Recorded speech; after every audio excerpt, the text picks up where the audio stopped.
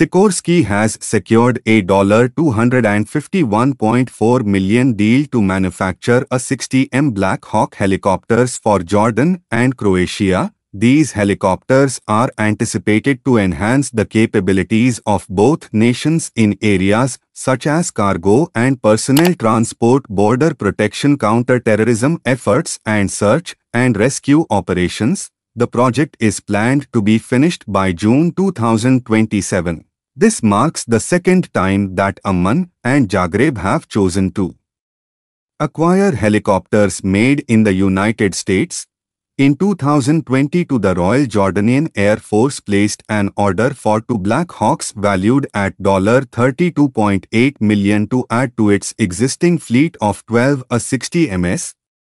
The Croatian army also purchased eight of these medium-lift helicopters to replace their older Soviet-era models. The A-60M is the main medium-lift helicopter used by the US Army. It comes with upgraded rotor blades, electronic systems, flight controls and navigation technology compared to its predecessor the A-60A. The helicopter also features a sophisticated digital avionics system that improves the pilot's awareness of the surroundings. The A60M is capable of reaching speeds up to 151 knots 279 km per hour and can travel up to 511 kilometers on one tank of fuel. Sikorsky claims that the Black Hawk is engineered to be a benchmark for rotorcraft in terms of safety and performance.